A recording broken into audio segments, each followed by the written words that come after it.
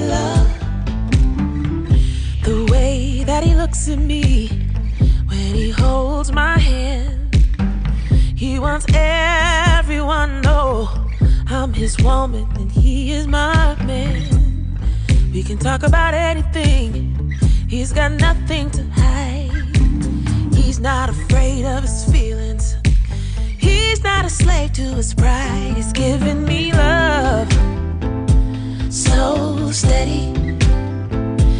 touches my heart.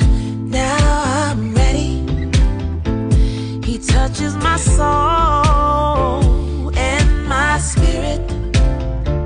He's giving me love.